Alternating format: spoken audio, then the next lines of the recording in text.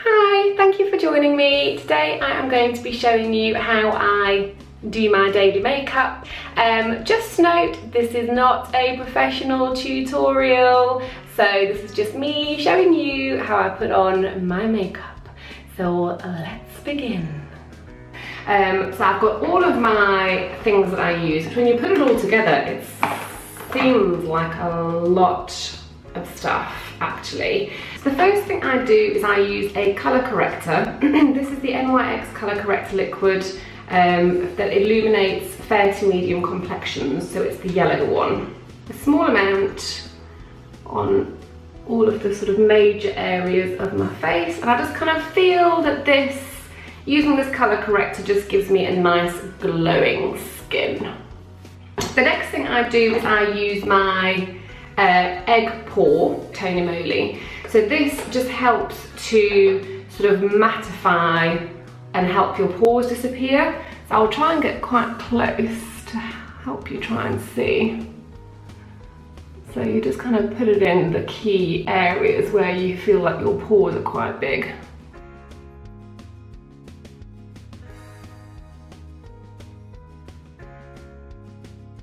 Um, so the next thing I do is foundation. I choose between three foundations.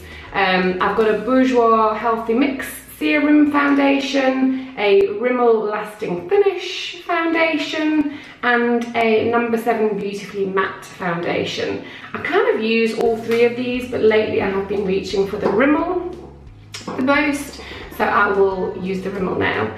Now I have tried stippling brushes and sponges to apply foundation and I just kind of feel that the fingers work best. So for me, this is how I put my foundation on. Obviously, you know, makeup artists will probably be horrified, but this is the way it works for me.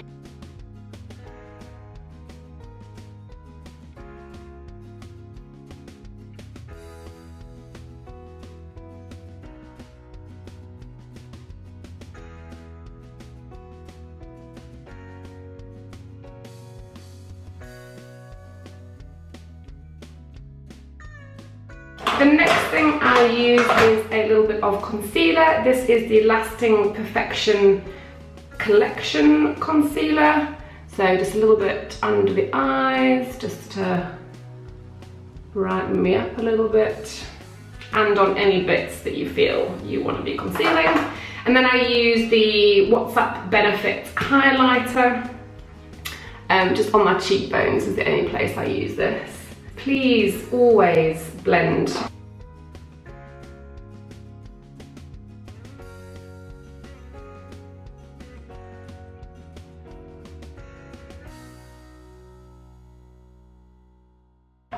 Oh, so next I use the NYX blotting powder. My skin tends to get quite a shine on during the day. So this is like a white powder compact um, and it just actually helps absorb any excess oil or shine throughout the day so that you're not constantly feeling like you've got to reapply powder. Always to go easy on it, it is a white powder, so you don't want to look like a geisha, unless you do, in which case, layer it on thick. So the next thing I'm going to do is a little bit of um, sort of shading, uh, contouring, I suppose, tanning, whatever you want to say. Uh, I'm using the Clarins, oh that looks lovely. Um, and then because I'm actually really quite fair, I only actually sort of go from the middle down and maybe that one around. I haven't actually gone into those darker shades yet. So I just grab a little bit, tap the brush, and then I'm using an angled brush and I just go lightly into the areas where the sun would naturally kind of get me anyway. Um, and then obviously a little bit down here as well, just to help with the old cheekbone uh, shading. So obviously you want to try and keep it as natural as possible because, you know, looking like you've contoured your face is not a good look just do the same on the other side. It's a very light dusting, you know, it's quite, my makeup is quite natural looking. I don't really like the sort of caked on effect. So I try and keep it quite light. And then um, try and go down a little bit on your neck as well. Because actually if you shade under your chin, it makes you look like you've got more of a uh, jawline, which is always nice. Is blusher, and I'm using the NARS Orgasm, mmm, racy.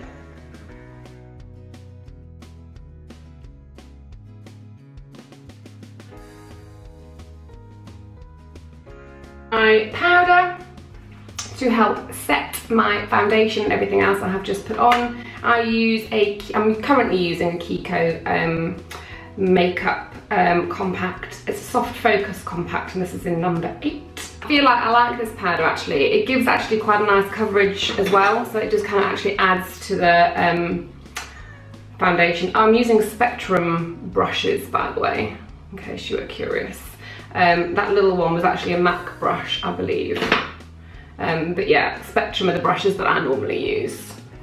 And then, yeah, just all over the show with this. So now I'll move on to my eyes. Now, people who are really good at doing makeup put on their mascara after their um, eyeshadow. I can't do that. It just smudges all over my lids.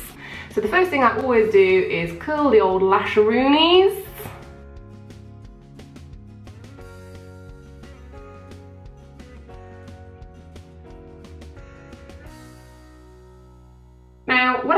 been using is the Revlon Dramatic Definition Mascara, but just yesterday I received a um, sample of the Charlotte Tilbury Legendary Lashes um, mascara. I just put this in a um, What the Postman Brought video yesterday, um, so if you want to see this, um, I'll leave a link in the comments.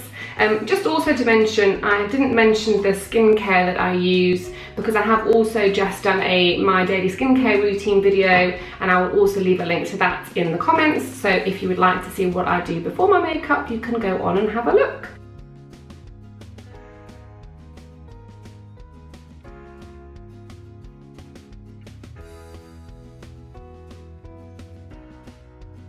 Because I constantly smudge my mascara, I cannot go anywhere without my trusty little earbuds because this is what I use to then clean up the mess I have just made of myself. Um, the next thing I use is something that I cannot live without. As you can see, I don't have very many eyebrows. I have done a couple of eyebrow tutorials. Again, I'll link those in the comments that you can have a look at them if you want. Um, this is the eyebrow pencil, oh, it's dirty, um, that I always go back to. It's a Rimmel eyebrow pencil in number 002 Hazel and I have loads of eyebrow pencils and loads of eyebrow products and this is just the one that I always end up going back to. I like it because it does have the little brush as well so it's like everything in one. It's super convenient. I think it gives you a really good colour. It stays on all day long, um, doesn't smudge. I think it looks really natural. So yeah, I just think this is my kind of go-to eyebrow pencil really.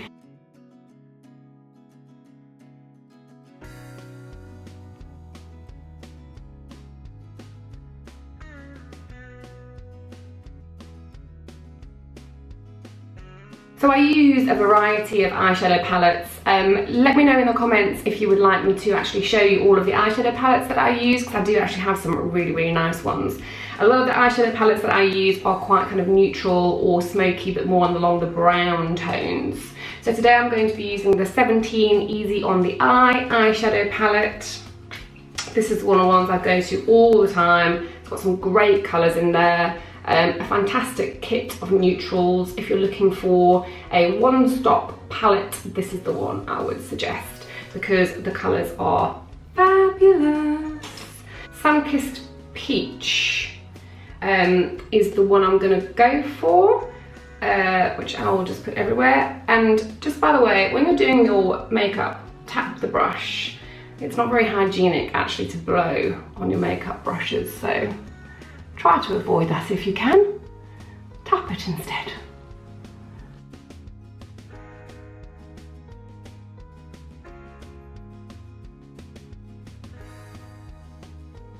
Or the slightly darker shade, which is, oopsie, number seven, which is Toast Almond, which is just there. Um, and I'm just going to, again, tap it and then just put that in the creases just like such.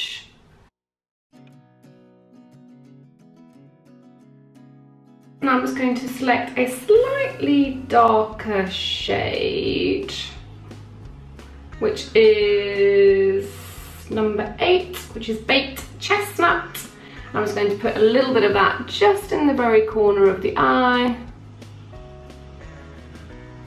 Just dab, dab, dab, just to give it a little bit more definition in the corner. The very last thing is a bit of blending. I'm just going to blend it in.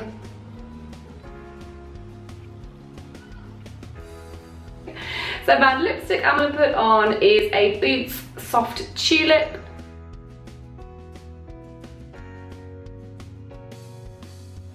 So that's it, that's my everyday makeup look. I hope you've enjoyed this video. Please give it a thumbs up if you have. Please subscribe to my channel. Please join me again. Um, and I hope to see you again soon. Bye!